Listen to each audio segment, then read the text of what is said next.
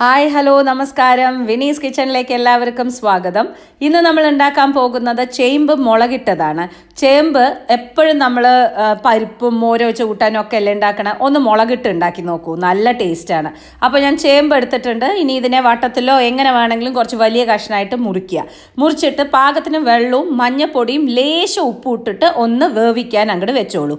ഇനി നമ്മൾ ചട്ടിയിൽ ഒരു പത്ത് ഇരുപത് ചെറിയ ഉള്ളി ഒരു മൂന്നാൽ പച്ചമുളക് ഒരു മീഡിയം സൈസ് തക്കാളി. ഇതൊക്കെ കൂടിയിട്ട് നമുക്ക് മുറിക്കുക പിന്നെ നമുക്ക് വേണ്ടത് കാശ്മീരി മുളക് പൊടിയാണ്. കാശ്മീരി മുളക് പൊടി ഒന്നര സ്പൂണോളം കാശ്മീരി മുളക് പൊടി എടുത്തിട്ടുണ്ട്. അര സ്പൂണോളം നല്ല മുളക് പൊടി എടുത്തിട്ടുണ്ട്. പിന്നെ പച്ചമുളകും ഉണ്ടല്ലോ ഒക്കെ കൂടി ഭയങ്കര എരിവ് വേണ്ട വിചാരിച്ചിട്ടാണ്. അത് കഴിഞ്ഞതിന് ശേഷം അര സ്പൂണ് മഞ്ഞപ്പൊടിയും കൂടി ഇട്ട് കൊടുത്തതിന് ശേഷം പിന്നെ നമുക്ക് ആവശ്യത്തിന് ഉപ്പിട്ട് കൊടുക്കാം. അതും കൂടി കഴിഞ്ഞ് കഴിഞ്ഞാൽ നമുക്ക് പാകത്തിന് വെള്ളവും വെച്ചിട്ട് ഈ പച്ച മണം പോകുന്ന വരയ്ക്കും നന്നായിട്ടൊന്ന് തിളപ്പിച്ചെടുക്കണം. ഓക്കെ? അപ്പോൾ ഇതിന്റെ കൂടെ തന്നെ ഞാൻ രണ്ട് കുടം കുടംപുളിയും കൂടി ഇട്ട് കൊടുക്കുന്നുണ്ട്. എല്ലാം കൂടി ഇട്ടിട്ട് വെള്ളം ഒഴിച്ചിട്ട് നമുക്കിതൊന്ന് തിളപ്പിച്ചെടുക്കാം. അപ്പോൾ ആ പച്ചമണവും പൂവും ആ പുളിയും ഒന്ന് ഇറങ്ങും. നല്ല ടേസ്റ്റ് ആയിരിക്കും. അപ്പോൾ ഇത് ഏകദേശം ഒന്ന് നന്നായിട്ട് വറ്റി വരണം കേട്ടോളൂ അപ്പോൾ ഇതിന്റെ കൂടെ ഞാനൊരു കോമ്പിനേഷൻ പറഞ്ഞുതരാം.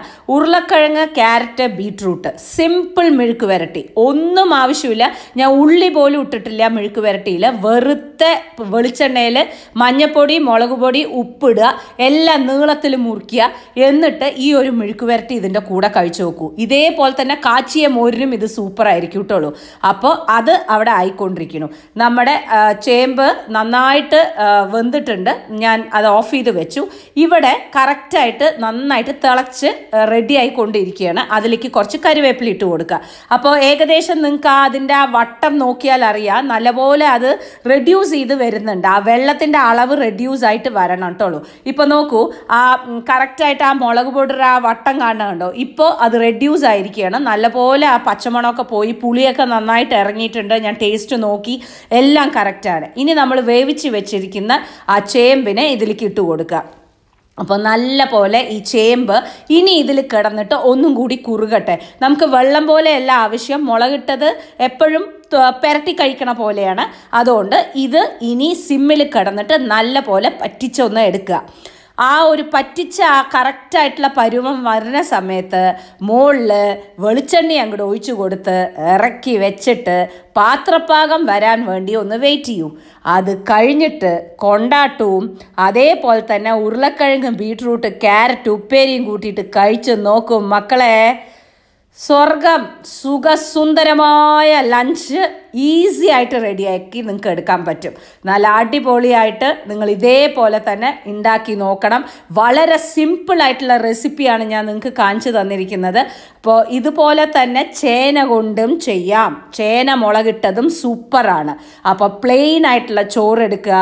അതിന്റെ മുകളിലേക്ക് ഇത് ആറിനൊട്ടുള്ളൂ ആറിക്കഴിഞ്ഞാലേ സൂപ്പർ ടേസ്റ്റ് ആറി കുറുകിയിരിക്കുന്ന ആ ചേമ്പ് മുളകിട്ടതിനെ മുകളിലേക്കൊഴിച്ച് കുറച്ചും കൂടി അതിന്റെ വെള്ളവും ചാറും ഒക്കെ കൂടി ഒഴിച്ചിട്ട് അങ്ങോട്ട് ഉണ്ട് നോക്കൂ.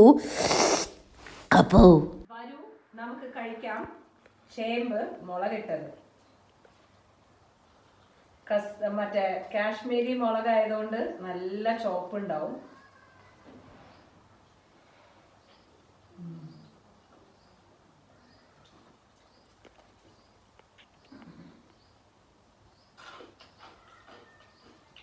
ഇതുപോലെ മോരോജ കൂട്ടാനും പരിപ്പും അങ്ങനെയുള്ളത് ഒന്ന് മാറ്റി പിടിച്ചാൽ പുളി ഇഷ്ടമുള്ളവർക്ക് അങ്ങനെ ഒന്ന് ട്രൈ ചെയ്ത് നോക്കൂ കേട്ടോ ഓക്കെ അപ്പൊ ഞാൻ അവരുടെ കൂടെ പോയിരുന്ന് കഴിക്കട്ടെ. വീണ്ടും നമുക്ക് കാണാം. ഒരു പുതിയ റെസിപ്പിയുമായി Till then, take care and bye bye.